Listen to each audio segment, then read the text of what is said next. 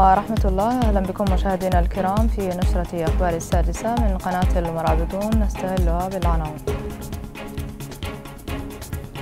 الناطق باسم الحكومة يقول أن قضية فريق مدرسة نسيبة استغلت بطريقة لا تخدم وحدة وتماسك المجتمع الموريتاني.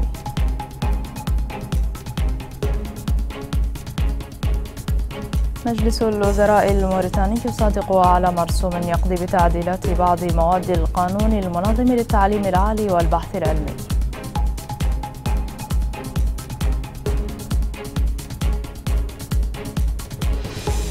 الإرهاب وتهريب المخدرات تحديات أمنية تواجه بلدان غرب القارة الإفريقية رغم الاستراتيجيات والتكامل الإقليمي بين البلدان.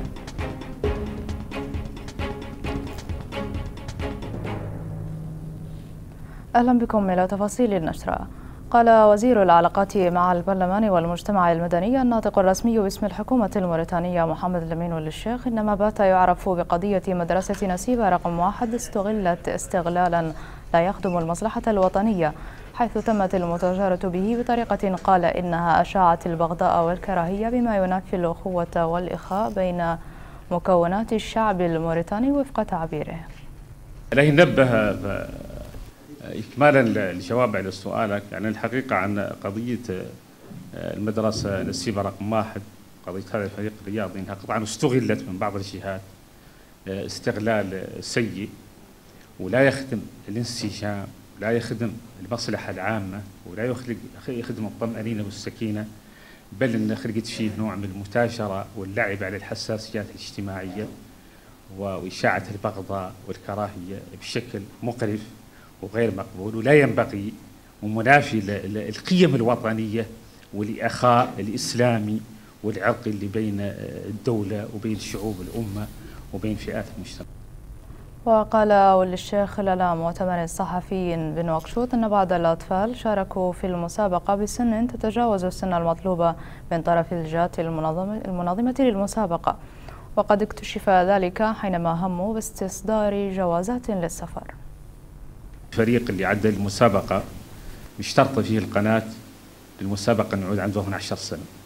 لكن يبدو أن الفريق اللي عدلها كانت أعمارهم فوق ذلك بعضهم مولود 96 بعضهم مولود 2001 فمرينتها وعدلوا طبعا المسابقة اللي هم القوم هذا اللي أعمارهم كبيرة أكبر من السن المطلوب. غير همهم يمشوا بس هم واحدين أصغر منهم عندهم السن المطلوبة طبعا هذه القضية عدلوا المسابقة باسمائهم وعدلوا هذا في باسمائهم غير منين جاوا الوثائق المؤمنة اللي يستخرجوا جواز جوازات السفر بالبصمة وبالصورة اكتشفوا إن هذول اللي لا يمشوا ما هم هم اللي أصحاب الأوراق. يعني أصحاب الأوراق عندهم 12 سنة وعندنا لست قبضتها من عند خلطة. هي لست فيها الأسماء.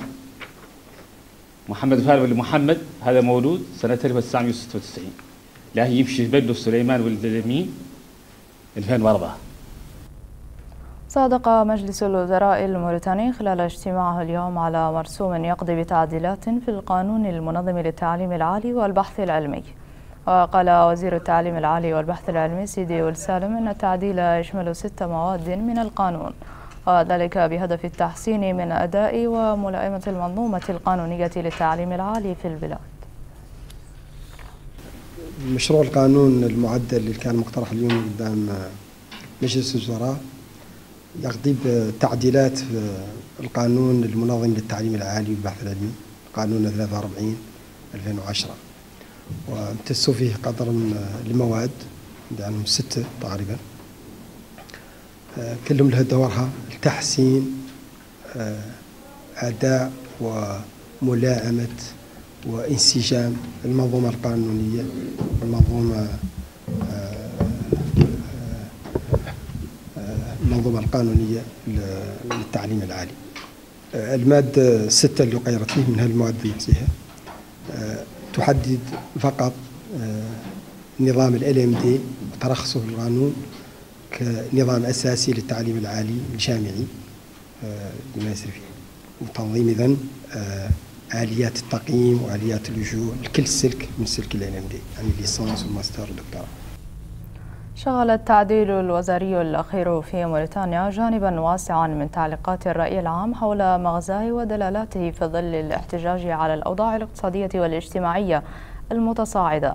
وتباينت وجهات النظر فيما يتعلق بالخلفيات المؤثرة ببقاء وزراء ومغادرة آخرين.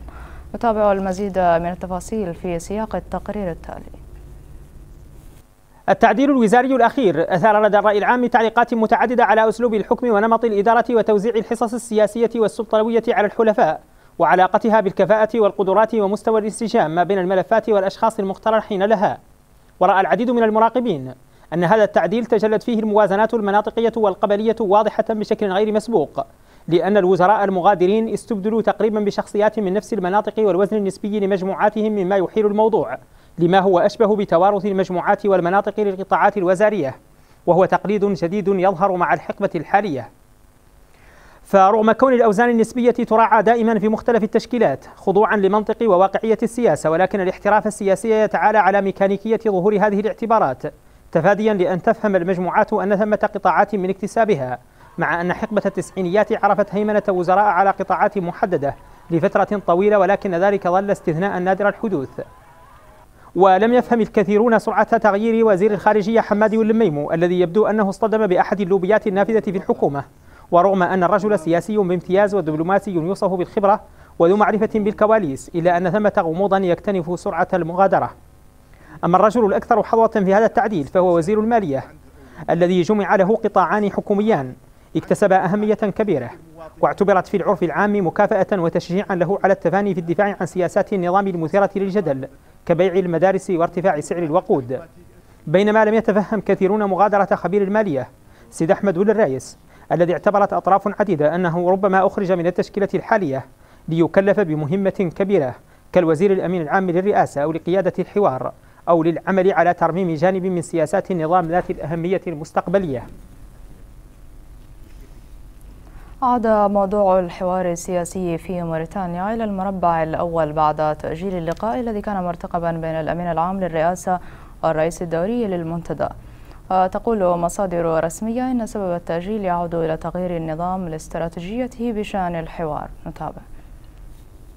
عاشت الساحة السياسية الموريتانية خلال الأسبوع الماضي على وقع لقاء مرتقب بين الوزير الأمين العام للرئاسة الموريتانية مولاي المحمد الأغضف والرئيس الدوري للمنتدى الوطني للديمقراطية والوحدة أحمد سالم البحبيني. لقاء قيل حينها إن النظام سيقدم خلاله ردا مكتوبا على ممهدات المنتدى لكن اللقاء تأجل إلى أجل غير مسمى. ولأسباب وصفها رئيس المنتدى بالمجهولة. مصادر غير رسمية تقول إن اللقاء تأجل لأن النظام غير استراتيجيته بشأن الحوار حيث يسعى إلى تقديم رد مكتوب مصحوب باتفاق إطار سيسلمه للأحزاب السياسية بدل رئاسة المنتدى. وهي خطوة تؤكد أن النظام ليس مستعجلا بشأن الحوار السياسي. وأن تبادل الأطراف تحميل بعضها البعض مسؤولية تعثر الحوار قد تمتد لفترة أطول. في غضون ذلك يواصل المنتدى مهرجاناته السياسية في ولايات واكشوط يندد خلالها بالأوضاع الاقتصادية والاجتماعية للمواطنين ويدعو للاحتجاج ضد سياسة النظام الحالي. وهو أسلوب يقرأ فيه بعض المتابعين محاولة للضغط على النظام من أجل الرضوخ لشروط الحوار عبر حشد الجماهير ودعوتها للخروج إلى الشارع. ويتوقع أن يتجاوز العاصمة نواكشوط إلى بعض مدن الداخل. لكن أسلوب الاحتجاج يقول موالون إنه لن يشكل ورقة ضغط على النظام حيث سبق وأن جربته المعارضة وكانت يومها ترفع شعار رحيل النظام لكنه آل إلى الفشل وعدلت عنه إلى حمل شعارات أخرى أكثر واقعية لكنها أقل تأثيرا وربما تكون أقصر نفسا. تجدد احتجاج شباب حراك منشاري غزوال للأسبوع الثالث على التوالي في العاصمة نواكشوط. تنديدا باستمرار غلاء أسعار المحروقات في موريتانيا على الرغم من انخفاضها في الأسواق الدولية. هذا وتثير أسعار المحروقات جدلا منذ أسابيع وتقول الحكومة أن تخفيض الأسعار غير ممكن في موريتانيا ما لم يتم تخفيضها من قبل البلدان المصدرة للنفط. آه هذا حراك حراك مجتمعي وراء مطلب مشروع هو نقص سعر الانقال البنزين الانقال المازوت. أي معنى غزوال نتيجة لماذا؟ لأن حكومتنا قبضت في في سنوات سابقة أنها ربطت سوق آه سعر النفط داخل الوطن باسعاره العالمية والآن المازوت لتر يوصل بور نواكشوط 110 وقيات تقريبا وتجي عليها جميع الضرائب وجميع والجمرك وبما في ذلك التخزين يا الله يعود سعره 180 وقية وهو ينباع ب 384 معناها أن الدولة تقبض من المواطن 280 وقية وهنا تيا نبقوا نعرفوا اللي قابضه به الدولة من المواطن يتفضل شنو. يا كان هو دعم المواطن للدولة وهذا الشيء غريب ولا قد تخلق والله كان المواطن يخلص دين قديم عدلتوا له الدولة. قالت إنها في دعم قديم قدمتوا له ذاك يلا تخلص قاع أشياء كثيرة منها الصحة منها التعليم منها الأمن. فهمني معنى هذه المقاربات معنى أن هذا القزوان اللي لا نقول رواية أنه يدخل في جميع مناحي الحياة المواطن من نقل من أكل الشرب لأن مستوى متوسط دخل الفرد في موريتانيا ولا الأسرة في موريتانيا تقريبا 40 ألف وقية. تعتبر التحديات الأمنية ممثلة في الإرهاب والجريمة المنظمة المنظمة والمخدرات من أبرز التحديات المشتركة التي تواجه بلدان القارة الإفريقية. وتتجدد هذه التحديات من حين لآخر جراء الهجومات المسلحة وعمليات التهريب المنتشرة جراء هشاشة الحدود ونقاط العبور بهذه البلدان. نتابع. تهريب المخدرات والجريمة المنظمة والإرهاب ثالث يشكل أبرز التحديات التي تواجه معظم بلدان القارة الإفريقية.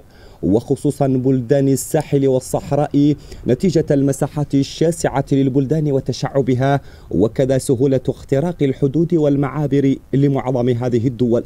ويتجدد الحديث عن محاربة هذا الثالوث وضرورة التصدي له من حين لآخر نتيجة تلاحق الأحداث وتتالي الهجومات المسلحة وإحباط محاولات إدخال المخدرات وتفكيك العصابات.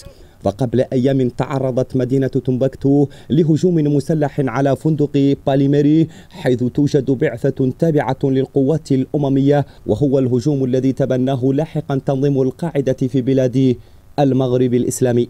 وقبل ذلك بأيام أحبطت موريتانيا عملية محاولة إدخال طن وثلاثمائة كيلوغرام من المخدرات إلى أراضيها عبر البحر.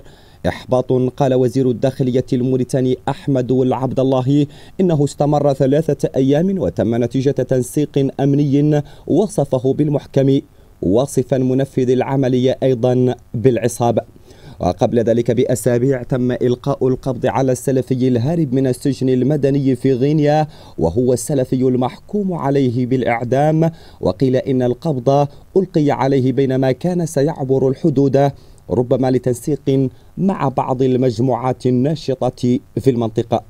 وتشهد عواصم بلدان الساحل من حين لآخر هجوما مسلحا على أحد الفنادق أو المطاعم الموجودة بها وهو ما بات يشكل مصدر قلق لأمن واستقرار بلدان القارة ويبحث قادة إفريقيا من حين لآخر في مؤتمرات إقليمية وشبه إقليمية وأحيانا دولية الموضوع الأمني كأبرز تحد يواجهها ودفعت على إثره الثمن باهظا حيث سالت دماء عديدة وباتت كيانات دول وأنظمة مهددة بفعل سياساتها وآليات مواجهتها لهذه التحديات. ورغم الحديث الرسمي المتزايد في بلدان القارة عن التنسيق الأمني بين البلدان إلا أن الإرهاب والمخدرات والجريمة المنظمة تظل تحديا ماثلا وبقوة. نهاية نشرة أخبار السادسة من قناة المرابطون وقد تابعتم فيها. الناطق باسم الحكومة يقول أن قضية فريق مدرسة نسيبة استغلت بطريقة لا تخدم وحدة وتماسك المجتمع الموريتاني.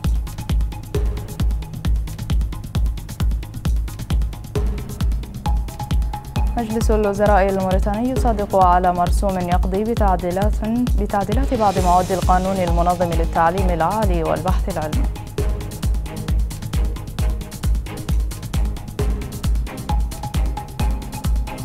الإرهاب وتهريب المخدرات تحديات أمنية تواجه بلدان غرب القارة الإفريقية رغم الاستراتيجيات والتكامل الإقليمي بين البلدان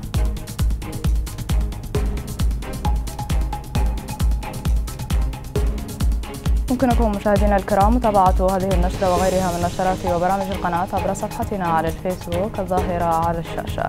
السادسة والنصف تتابعون حلقة هذا المساء من برنامج المشهد وتناقش موضوع الإرهاب وتهريب المخدرات تحديان الاستراتيجيات الأمنية لبلدان غرب القارة الإفريقية. التاسعة نشرة أخبارية مفصلة بحول الله. دمتم في أمان الله.